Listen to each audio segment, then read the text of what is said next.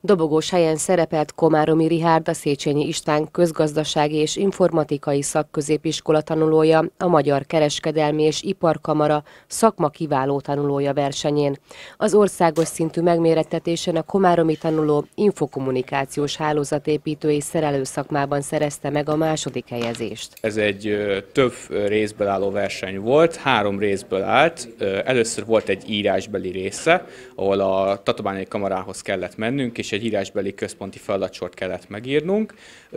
Az iskolánkból nyolcan vettünk ezen részt, és négyen jutottunk tovább az országos válogatóra ami hát három fordulós volt, és arról már csak ketten jutottunk be az országos versenybe ami ugyebár a Hung Expo egy elég nagyszabású verseny volt, és ezen második helyezést értem el. Ez a szakma teszi lehetővé az, hogy ezt például a nézők láthassák, mert ez a szakma az, ami az, az országban az egész hálózatokat építi ki, tehát nagyon-nagyon fontos szerepe van a mai világunkban ennek a távközlés technikának tulajdonképpen. Második éve ismerkedik ezzel a szakmával Komáromi Rihárd, aki a verseny eredményével egy gyakorlati záróvizsga alól is mentesül. A versenyben egy optikai hálózatot kellett kiépítenünk nekünk, a központi oldalt és a felhasználói oldalt egyaránt kellett kiépítenünk, majd megmérnünk, hogy ez mennyire működne a való világban tulajdonképpen az Országos Szakmasztár Fesztivál rekordszámú résztvevői számmal büszkélkedhetett.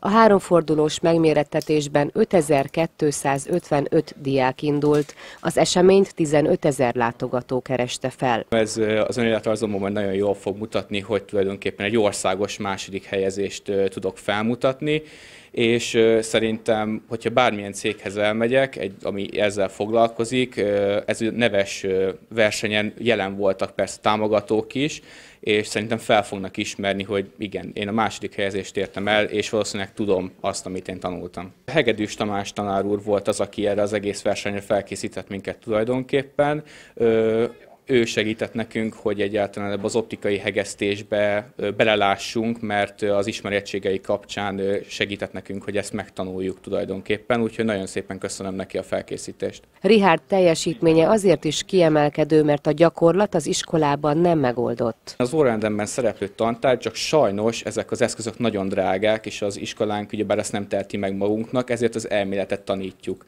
vagy tanítják az elméletet, nagyon-nagyon jól átadják, de azért gyakorlatban mégis más látni ezt az egésznek a működését. Megmondom őszintén, büszke vagyok magamra, hogy eddig el tudtam jutni tulajdonképpen ilyen eszközökkel, amik ugyebár a rendelkezésemre állnak, és én örülök neki nagyon. Egy nagyon-nagyon neves eseményen vehettem részt, úgyhogy én boldog vagyok emiatt.